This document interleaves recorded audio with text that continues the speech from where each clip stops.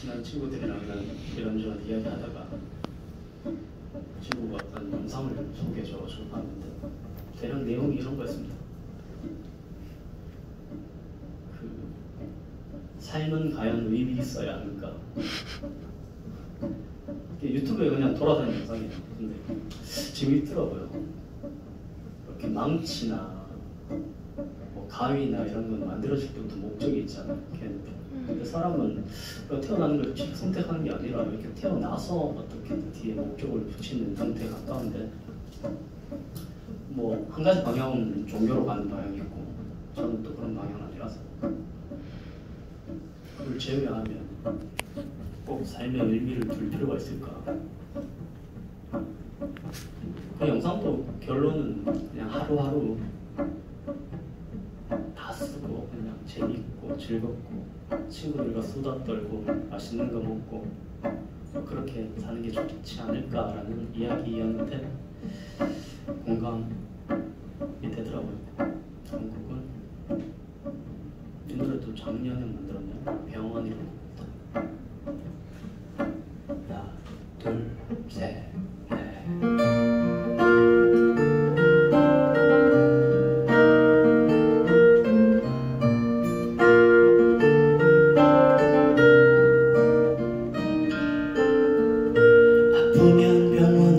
가자. 내 손을 잡고 함께 가자. 아무에게도 얘기하지 않을 테니 아무 걱정 말고 싫다면 이대로 있자. 아무 말 없어도 괜찮아. 모든 것이 멈추었다 생각하고 그냥 던져두자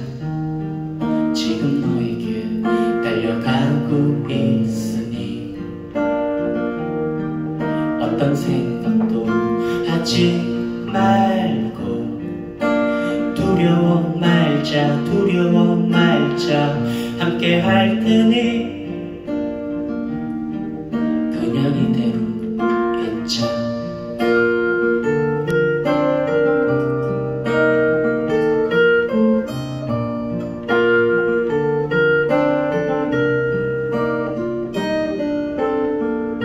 아프면 억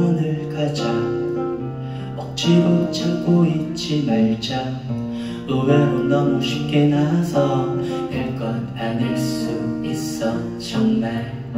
싫다면 이대로 있자. 정답은 없을지도 몰라. 우리는 그냥 나란히 누워 멍하니 하늘을 보자. 지금 너에게 달려가고 있으 어떤 생각도 하지 말고. 두려워 말자 두려워 말자. 함께 할 테니. 그냥 이대로 있자. 너를 절대 혼자 내버려 두진 않을 거야. 나는 절대 너를 두고 가지 않을 거야. 언젠가 모든 것들이 제자리를 찾을 때까지 우리 절대 불안해하지는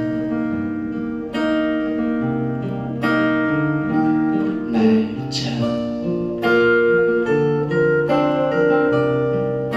두려워 말자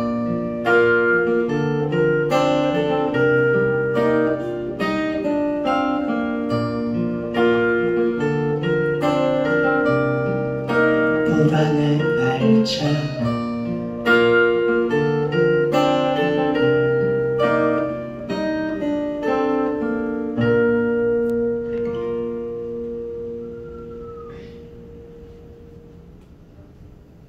네, 여러분